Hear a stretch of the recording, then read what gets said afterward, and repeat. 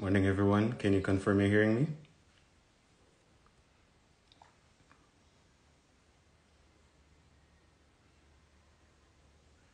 Thumbs up if you're hearing me.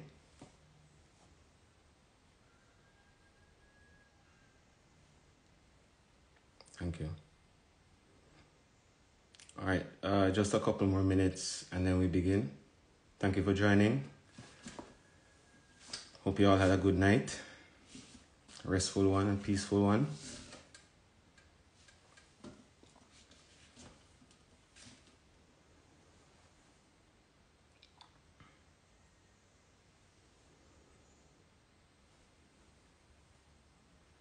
Morning again, everybody. Thank you for joining.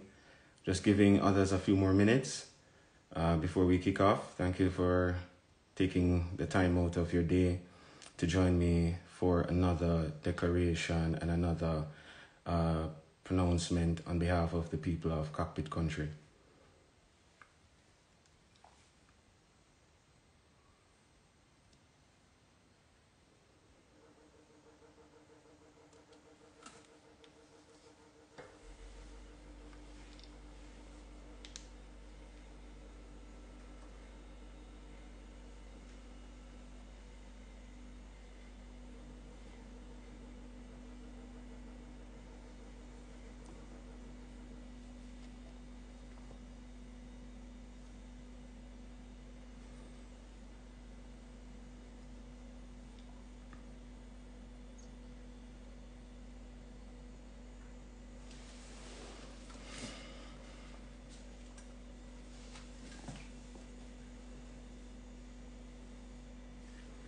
Okay, let's get started. Ashe, Kwaba, Salam Alaikum. Good morning, everybody. Hailing from the hills of Cockpit Country in the Cockpit Country town of Accompong. Unity is what essentially binds a movement and creates the solidarity behind any movement of a people be it for a just cause, in defined in its purest and simplest way. I come to you this morning to essentially address a significant happening uh, within the last week. On Sunday, the Maroon Chiefs had a meeting to discuss the current state of affairs and the relations with the government and a lot of what you've been seeing thrown around in the media. We've sat back and we've observed what has become a solid attack on our legacy, on our heritage, and it all began with Kindah, the word that means one family. It transitioned to out of many, we are one people. In that meeting as chiefs, the four elected Maroon colonels were on that call Colonel Wallace Sterling, Colonel Douglas, Colonel Lloyd Latibeaudiere, and myself, along with others of the indigenous community. Now, today, I say that we had a pretty thorough and engaging conversation in arriving at a direction and a path to quell all the nonsense that has been spun around and thrown around through the media. We're not here to divide anyone. We're not here to create problems. The Maroons have lived for over 300 years in these hills unprovoked. We have not been at war since signing of that treaty. We've, main, we maintained brotherhood. We lived off the land. We continue to live off this land and protect the land. In recent times, we found ourselves in a conundrum where so many things have been promised to us as a people roads, water, running water. You know, the cockpits provide 40% of the island's fresh water. We don't have running water. We've had promises upon promises upon promises that these things would come. And to date, we still struggle as a people. In that meeting, on Sunday between all the colonels and other members of the indigenous community. Gamma G, Marcus Goffe, who's a legal um, representative. And I find that it was a productive meeting, as I mentioned. Coming out of that meeting, we tabled the position that collectively we would prepare the Maroon working papers, which we would be passing to the government to begin dialogue to have a diplomatic resolution to this cause. It was made clear in that meeting that a contact from the government had reached out to Colonel Sterling in an effort to arrange a meeting with the Maroon chiefs.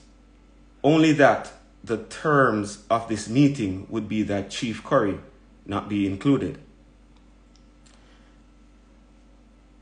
We raised the concerns, we had an open discussion about it, and everyone decided it was in the best interest of the collective and maintaining the position of one, one conversation having to do with the rights for indigenous peoples and the Maroons.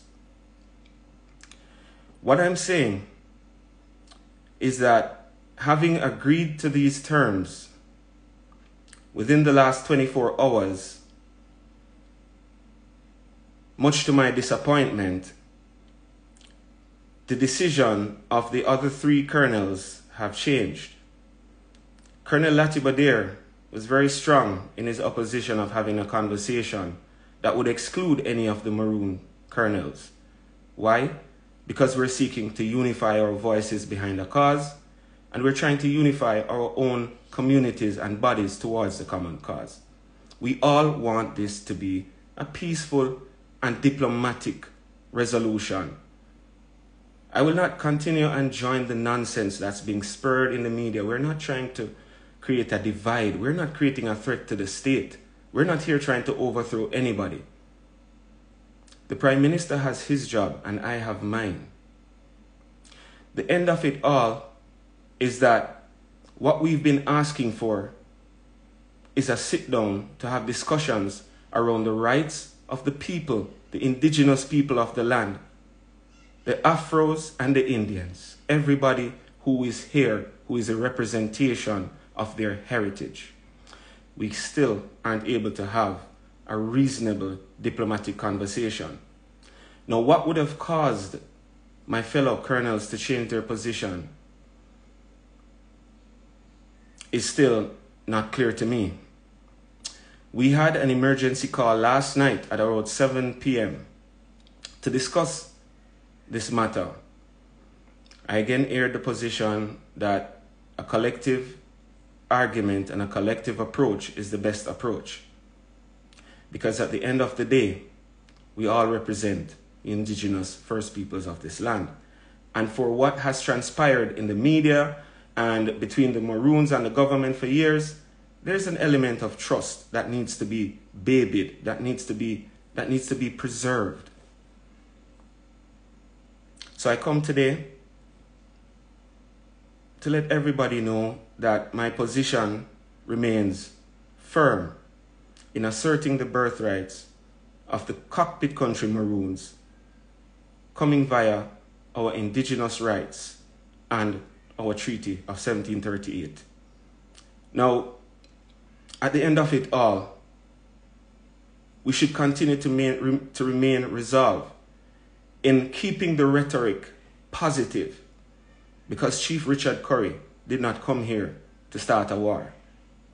Chief Currie came here to assert birthright and to facilitate economic and social upliftment of the Maroon people. None of the Maroons wasn't the only Maroon hero. Should I say heroine? Many had fought and died in that 83 years. Captain Cudjoe stood up, fought. We signed that treaty to bring peace to the land and bring freedom to the people. Clause 6 of the treaty reads that the Maroons would capture, kill, or suppress any rebels found after the day of this treaty, unless they subject themselves to the terms and accommodation of Captain Cudjoe and his successors. That was very clear, a diplomatic engagement between two nations that swore to peace and maintaining peace on the island. Everyone had an opportunity to join. I did not sign a treaty. I'm merely here to affirm the rights of a people and preserve our lands that are at significant threat of being mined. At the end of the day, the chief looks after his people.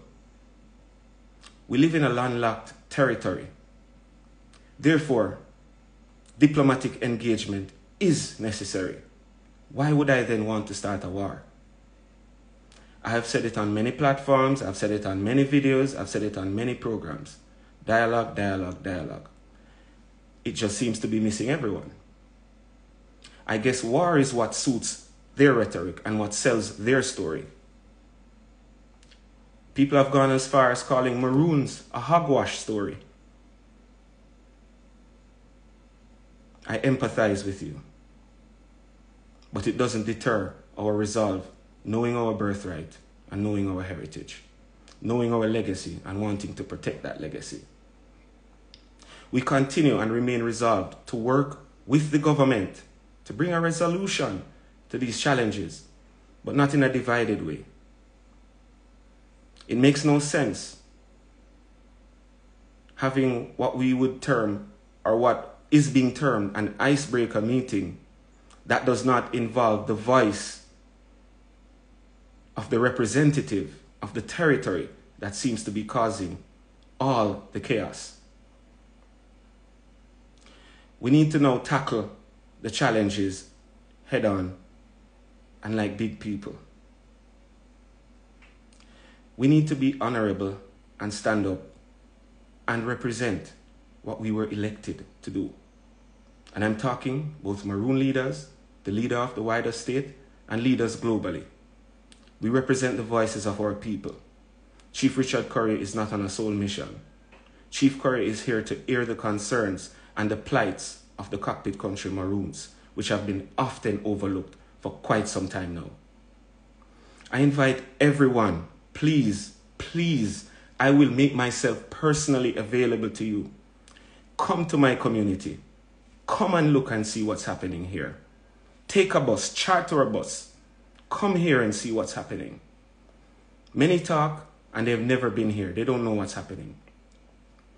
There's been so much funding that has come into this country on behalf of indigenous people. And none of it gets spent here. So again, implore the minds and hearts of those that be to let good sense prevail. Please, we're asking for proper dialogue. And I and the government of Cockpit Country, along with our legal team, will continue to prepare documents in lieu of having dialogue that is constructive to put forth our position for economic upliftment and social mobility amongst our people that can be a mutually beneficial thing to the greater nation. Out of many, one people.